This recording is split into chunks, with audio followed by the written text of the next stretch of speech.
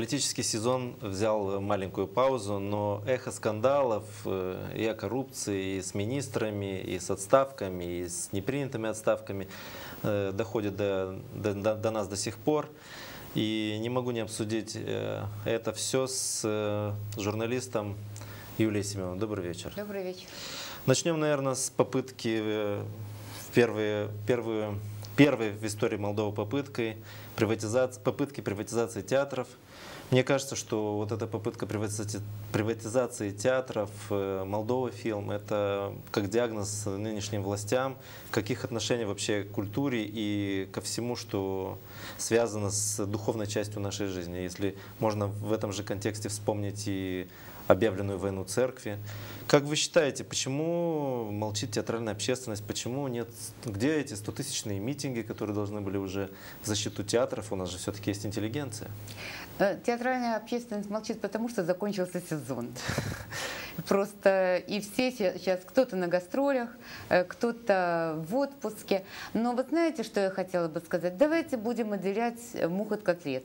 Э, что касается киностудии «Молдова фильм», то, конечно, э, в свое время это была достаточно известная киностудия на просторах СССР.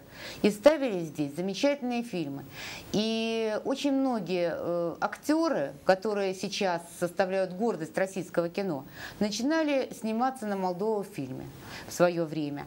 И э, многие режиссеры, в том числе режиссер Карик, который поставил замечательный фильм «Человек идет за солнцем», очень необычный тогда, э, который вошел в учебники вообще по истории кино. Он тоже ставил этот фильм на Молдова фильме.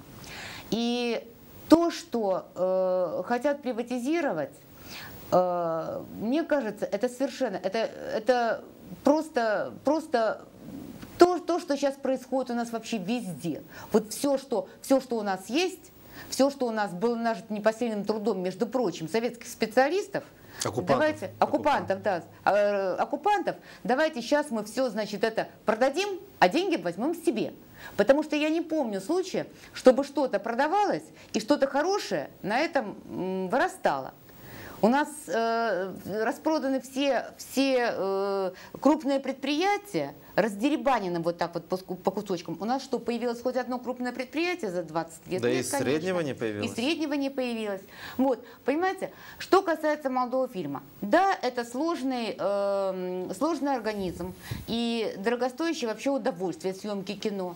Но если мы так громко говорим о своей независимости, и если мы так громко говорим о том, что у нас, э, что мы идем вообще в Европу, кстати, то э, нужно тогда и о своей культуре, то нужно тогда каким-то образом эту культуру поддерживать. И, конечно, киностудии нужно что-то делать, но не приватизировать, потому что непонятно, в чьи руки она попадет и что с ней сделают. Построят, может быть, на, на ее месте очередной э, торговый, или ее превратят там 7 гектаров земли. в очередной торговый, э, торговый центр, гостиницу, что у нас там еще, э, рестораны, ну, то есть то, там что, я, у нас, я думаю, то, что, что у нас там, наиболее востребовано. Да? Там будет, я думаю, новый микрорайончик такой, такой на телецентре да, появится. Или, или появится какой-нибудь там элитный микрорайончик, где опять будут продаваться, э, значит, дома э, или квартиры по каким-то совершенно заолоченным ценам, которые напоминают номера мобильных телефонов. Теперь, что касается театров.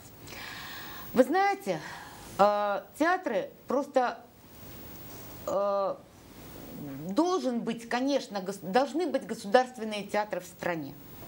Вот у меня такое твердое совершенно убеждение, что должны быть государственные театры в стране. На самом деле это не всегда лучшие театры, которые существуют в стране. Но э, если бы, например, э, у нас были настоящие меценаты, вот, если бы у нас были люди, которые действительно любят искусство, и вот захотели бы прикупить себе театрик, это одно. Так, когда у нас на самом деле люди, которые по-настоящему любят искусство, бессеребренники, денег у них нет, а меценатов не находится, то в этом случае приватизировать театры и отдавать их в частные руки, э, это совершенно другое. Посмотрите, что произошло с э, Посмотрите, что произошло с оперным театром, когда там вот сменилось руководство несколько лет назад, и когда была директором э, госпожа Шейкан. Там, там ставились коммерческие спектакли. Да, это были неплохие спектакли, но извините, кто вообще туда мог попасть? Я э, однажды пошла на премьеру «Царской охоты». Массовый спектакль. Э, билеты стоили от 300 леев. То есть, понятное дело, что ни учителя музыки, ни пенсионерки, ни э, учащиеся музыкальных школ туда попасть не могли за эти деньги. Я тоже не могла за эти деньги попасть. Я пошла, прошла с заднего крыльца по своим каналам. И вот когда я туда зашла по своим каналам с заднего крыльца, вы знаете, у меня просто, вот я чуть не заплакала. Портер был голый, пустой. В портере сидело, ну, может быть, человек 100, а он, по-моему, рассчитан на 600, что ли, э, мест портера, я вот точно не помню. Значит, э, артистов на сцене было гораздо больше. Вот для кого они работали? А ведь там остались люди, которые действительно любят искусство, которые Ну, а- действительно... а зачем тогда ставить билет в действительно 300 им лей, а не в 50, вот я не в чем понимаю. дело, понимаете? И если у нас приватизируют театры, то у нас по всем театрам будет такая вот ситуация. Я боюсь другого. Я боюсь, что если у нас приватизируют театр, просто исчезнут театры, потому что Они- или они они очень интересны с точки зрения недвижимости, Ну, что касается, что касается театра Чехова, если его приватизируют вдруг, То там будет казино то сразу, понятное уже дело, понятно. там будет казино. Вот. Но все-таки какие-то пару театров останутся, куда Но я думаю, что будет Чехов, попасть. скорее всего, Чехов, скорее всего, по логике, даже э, наши не- нынешние ребята во власти, по логике должна ставить Чехов, Чехова и Минеску как э, русскоязычный и молдавоязычный театр, государственные театры. Ну, дело в том, что, И скажем, уже опера. Дело в том, что, дело в том, что, скажем, э, театр с улицы Рус тоже русскоязычный театр. И это вообще театр с удивительной историей. Я не знаю просто, я много лет преподавала историю театра, я, я не знаю ни одного больше случая, вот на всем пространстве, скажем, СНГ, да, где, где таким вот образом бы родился театр, который появился из обычного школьного драм-кружка. И театру в, в этом году 35 лет. И театр вообще, он существует, э, его знают, его знают за границей. У них огромное число гастролей. Они очень много есть на фестивале, где всегда срывают призы. Э, Они проводят фестиваль в, в ноябре, они проводят э, фестиваль multfest.ru. Это фестиваль малых те- э, камерных театров и спектаклей малых форм, куда приезжают, ну я не знаю, десятки, десятки стран мира в том числе, которые играют уже даже не на русском языке. Я не говорю про то, что после первого фестиваля бывший министр культуры, выступая э, по одному из местных телеканалов, сообщил, что у нас фестивали не проводятся. Только вчера уехали последние гости этого фестиваля. Фокша? Да. Известный знаток Да, театрального да, искусства? Да. Вот, понимаете, вот я уже, я уже про это молчу.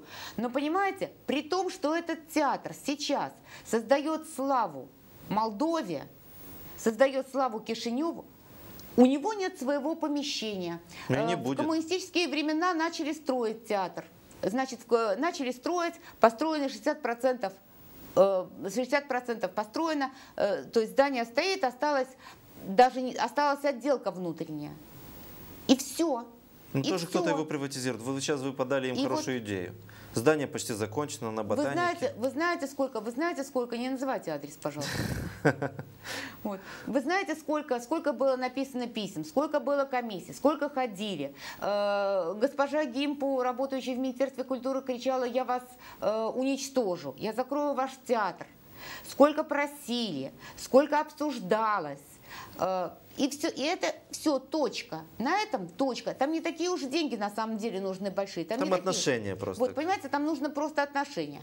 Вот, поэтому э, вообще этот э, театр сделали государственным. Если бы, например, у человека, который его создал и вырастил, у Хармелина были бы деньги, конечно, театр был бы частным, но это был бы театр. Понимаете?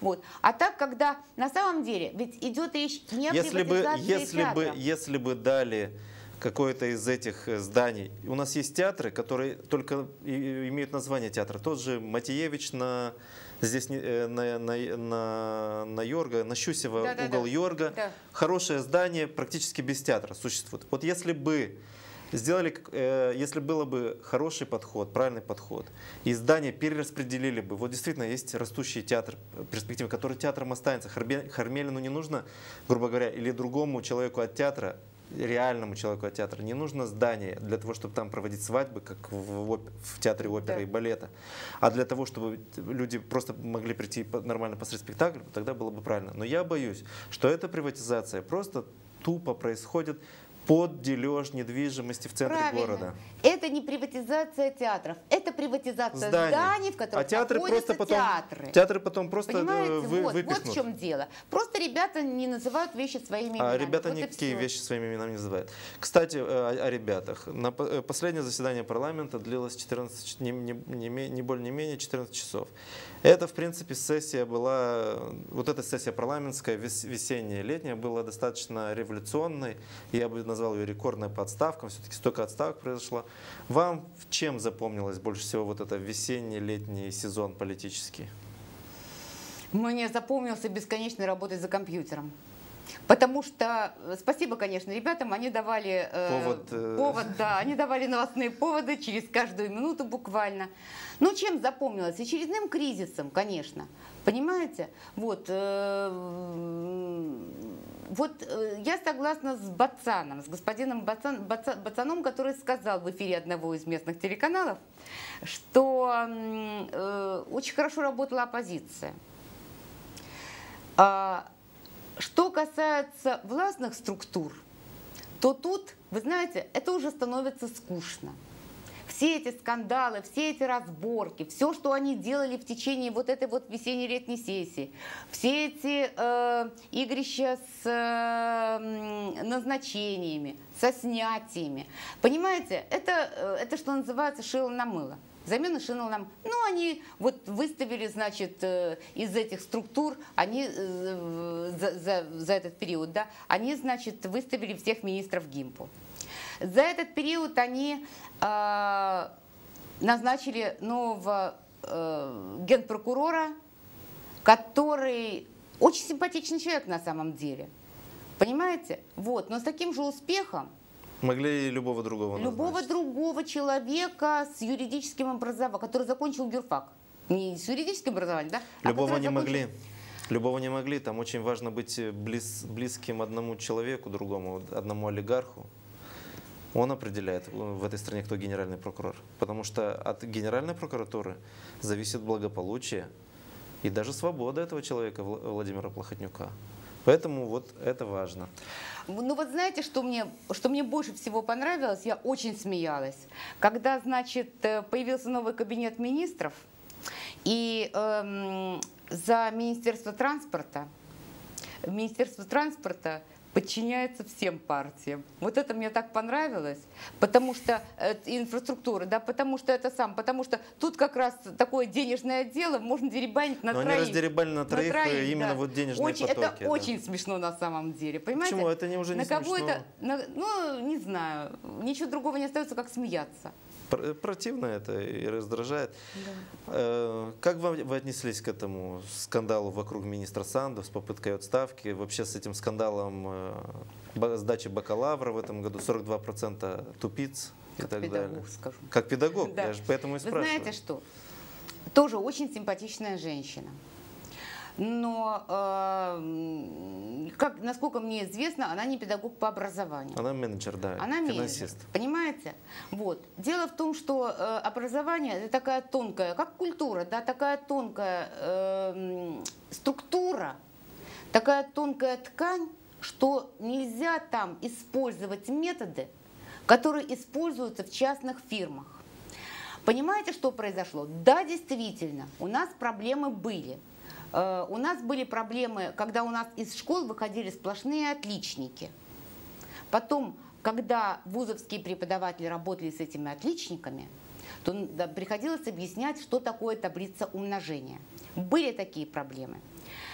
Э, Это говорит в первую очередь о больном обществе, а не о том, что э, вот э, дети списывают, дети такие плохие, они списывают. У нас общество больное, у нас ценности Денежные знаки. денежные знаки, понимаете, и это вбивается детям с самого раннего детства. И потом на этих, с этими детьми сводить счеты, ведь получилось что с этими э, видео- получилось что с этими видеокамерами? Счеты сведены с, с этими ребятами, с этими выпускниками, которым в течение 18 лет вдалбливали. Не подмажешь, не поедет. Понимаете? Да, даже если хочешь учиться, Вот но пока ты дело. учителю не занесешь. Вот в ты- чем дело, вот в чем проблема. А, не, не надо говорить так вот э, всех, всех учителей вот под одну гребенку. Но таких, к сожалению, из-за того, что учителя получают крайне мало, из-за того, что старые кадры в большинстве своем ушли, у нас же можно перечис- вот просто пересчитать по пальцам школы, где остались вот такие сильные кадры, подготовленные еще по научной методике в советское время, которые всегда знали, нас учили всегда в институте. Нет плохих учеников, есть плохие учителя. И которые привыкли работать над собой, привыкли, привыкли работать над своим предметом. Понимаете? Но появилось, появились и другие люди, как вот этот вот тип в Бельцах. Вообще, как, как Тоже он советская школа просуществовал. Кстати, образования. советская школа образования, да, ну хорошая мимикрия. Молодец парень тоже. Вот, понимаете, к сожалению, есть и такие. И вот именно такие, вот одна, знаете, как, как, как, как, как это есть такая пословица какая-то, да? Э, Кто одна корова все стадо портит. Вот как Одна так. паршивая Одна овца. паршивая овца все стадо портит. Понимаете? Вот это из той же Ну так паршивая овца Стоит это не Санду. Стоит в, одном, стоит в одной школе появиться вот такому вот педагогу, который берет деньги, потому что он мало получает, принимает такие дорогие подарки от родителей в течение. И понимаете, и, и у детей, у родителей сразу же возникает, ага, значит, все можно. Значит, таким вот образом можно получать образование. Ну хорошо, Потом они установили вот эти камеры. Санду. Майя Санду. Потом приходит Майя Санду. Непонятно на какие деньги. Я подсчитала, что 7 на эти деньги... лей. Э, Да, я подсчитала, что на эти деньги можно, можно содержать в течение года мало, э, малокомплектную школу, потому что у нас в, э, по, новому финанси, по, по, по новой программе финансирования школ у нас каждый ученик течение учебного года на каждого ученика тратится 500 долларов. Ну, там э, 6 тысяч лей, да? Ну, 500 долларов, грубо говоря. Немножко меньше получается, да? И вот смотрите, в эти, значит, в эти деньги входит эм, зарплата преподавателей, эм, содержание школьного здания, приобретение оборудования, приобретение учебников и так далее. И вот, в принципе, вот мало одну малокомплектную школу на эти деньги, которые были потрачены на камеры, Потом мне сказали, что эти камеры не соответствуют заявленным. То есть это какое-то, э, какая-то китайская сборка, причем Подделка. совсем плохая, да. Вот. И они сказали, что в школах эти камеры останутся. Зачем они в классе? Возникает естественный вопрос. Зачем они в Следить. классе? За кем следить? Контрольные бывают... Не за контрольными, за людьми следить. Зачем? Вот Кто спросите. будет за ними следить? Будет сидеть Вы их защищаете. Вы говорите, Будет что моя и сидеть- симпатичная женщина. Нет, ну она симпатичная она за это все женщина. отвечает. Но она, она за это все Но отвечает. понимаете, э, но, э, но она просто, ее нельзя было ставить министром образования. Ну вот это сто процентов. Вот нельзя было ее ставить. Сейчас снимут Маю Санду. А вообще я не помню, когда Она он еще свое дело, она Ма- Мавр свое дело еще не сделал. Мавр не может еще уходить. Ее снимут, но не сейчас. Она еще не закрыла все, что должна закрыть, не оптимизировала все, что должна была оптимизировать. Ну, не она начала ей поставили, ей поставили задачу. Перед ней стоит, вот перед финансистом стоит задача сэкономить. Сэкономить. Что он будет делать? Конечно, будет оптимизировать. И ка- как идея, как идея, может быть, эта оптимизация и неплоха. Но по сути она превращается в деградацию. Просто У нас потому все, что, что, просто почему-то потому что, просто все понимаете, просто потому что это делается все, знаете, как впереди планеты всей. Вот я не знаю, вот не, не, то есть вот нормально, да, нормальный человек вот у себя дома, да, он начинает делать ремонт. Он сперва все, все аккуратненько сложит, посудку перемоет, в ящики положит и так далее. Вот здесь то же самое происходит. Э, Вернее, то есть то же самое должно происходить, например, э, с, с вопросом оптимизации. Сперва определиться, э, по деньгам, потом определиться, значит, по каким-то там хозяйственным делам, определиться, значит, по педагогам в обязательном порядке, потому что ведь под это дело, мы, мы же не говорим про это, а сколько, сколько голов полетит. Просто у людей не, будет работы, люди не будут ездить за 25 километров, да уже не ездят, кстати, уже не ездят. Вот. И потом э, никто ведь не подумал о том, что, в- что редкая школа, редкий педколлектив принимает чужаков из другой школы, понимаете, принимает хорошо. Вот вам пример Гладианы. Вот эта история с Гладианским лицеем, которая была в прошлом году, который русский лицей, значит, э, пытались закрыть, угу. его удалось отстоять в прошлом году, я не знаю, как в этом году. Вот в прошлом году тогда его удалось, значит, отстоять. Так что там было? Значит, э, педагоги из молдавского лицея не хотели принимать этих учителей. С, э, есть в интернете ролик, где идет собрание этих педагогов, значит, э, вот этого вот лицея, куда должны были прийти эти учителя. Э, там стоят два журналиста из э, кишневских изданий. И, значит, им, а э, коллег из русского лицея просто не пустили в эту комнату. Не хотим. И что делать? Я даже, я, я не знаю, И что сказать. делать? А тут ничего не скажешь. И что делать? Понимаете? А как тогда если детей это, будут принимать? Так Еще хуже и дело, получается. понимаете? Э, есть школы, где вот, где вот я, скажем, знаю, что в Колораше, например, там, э, значит, э, нормально все, там все, этот процесс произошел безболезненно. Вот, но есть ведь, это, это Колораж, это город, это где две школы были рядом, где там значит, друг друга общались, знали, друг да. друга знали и так далее. А если, например, из одного села в другое село? А как примут этих детей? Ведь никто же об этом не подумал. Ведь никто об этом. Надо сэкономить. Все. Я не говорю уже про эти автобусы. Тоже сэкономили на них? Да, украли. тоже сэкономили на них. Понимаете, это... Маринуца тоже симпатичный То, что... человек? Маринуца нет. Маринуца не симпатичный. В принципе, значит, тогда он должен уйти Слушайте, в отставку. Все-таки за 4 года 8 отставку, трупов. Он должен уйти отставку, э, уйти в отставку. Вот прямо вот, понимаете, э, к сожалению, слово благородство неизвестно людям, которые находятся у власти. Вот вообще в любой другой стране после одного трупа министр взял бы и пошел в отставку. И в этой стране было так до недавних пор. А кто у нас девятого года? в отставку? У нас Плешка ушел в отставку после одного трупа на полигоне в Бульбока, тоже министр Его обороны. отправили. Его отправили. Отправили. Его да. отправили Скажем в отставку, так, от- понимаете? все-таки были а люди я с говорю, понятием что о человек- благородстве. Да, да, правильно. Люди отправляли хотя бы да, в отставку, да. если а тут, сам не а тут, уходил. а тут кто-то сказал, что это нормальная Тимофти ситуация. сказал, что Тимофти нормально, сказал, а, Тимофти а сказал, что это нормальная ситуация. Или Маринуца- Маринуца сказал, что Нет, это нормально. ска- Маринуца не сказал, что нормально. Маринуца сказал, что нормально, когда лицо за три дня меняется в цвете. То есть там подозревают, что мальчика избили, и он от этого умер. А Маринуца сказал, что у него синяки на лице, и что это нормальная ситуация, что труп коченеет через... Вот, вот дискуссия министра обороны о о той ситуации, в которой оказалась наша национальная армия. И главное, его простили, не, не проголосовали за отставку, и на, на той же Да, неделе на- еще один да, труп на уже следующий же избился. день буквально. И сейчас тем, э, и говорят, что, вернее, в новостях прошло, что Маринуци пытался подать в отставку, правда, я не, не знаю, как это он собирался делать, наверное, в частной беседе с Тимофти. В Тимофти сказал, что никак он не может принять отставку такого благородного и мощного министра обороны, как, как Маринуци. Вот она, вот она э, э, наша власть, наши ребята во власти, и и вот они все такие. И, и Санду, которая может быть симпатичная женщина, может быть неплохой финансист, но то, что она делает с нашим образованием, это просто деградация. Ну, Вот это слово в посудной лавке в образовании. Ее нельзя было просто назначать министром. Вообще нельзя было. Ну, а, при а как... таких сложно, при такой сложной ситуации, вот э, вы знаете, выписывать ее из, из где она была, из Штатов, выписывать ее сюда из Штатов, пожалуйста, нате вам вот сферу, вот, пожалуйста, вы ее додеребаните до конца. Но она додеребанит, если ей дадут время. Если мы остались уже, если мы обсуждаем потихоньку министров, а а нам интересно, вот ваша точка зрения, она такая, скажем, неформальная. Как вам Лазер, который объявил всех сторонников э, восточного вектора неполноценными?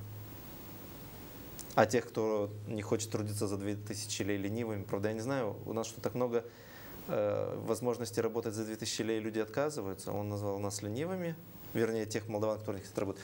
Но меня больше э, задела эта точка э, зрения, что если ты думаешь не так, как я, то ты неполноценен. Так получается. Знаете, ну тут просто это даже комментировать нет смысла.